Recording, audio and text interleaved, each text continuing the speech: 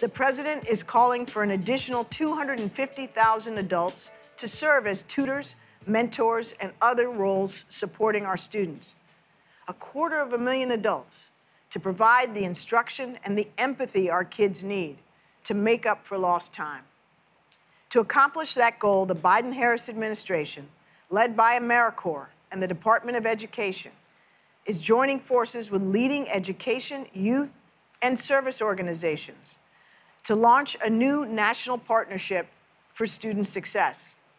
If you're a community organizer, an employer, a university, or just someone with a desire to give back, sign up at partnershipstudentsuccess.org.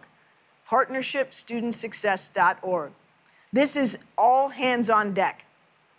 Yesterday, July 4th, we celebrated our nation's independence.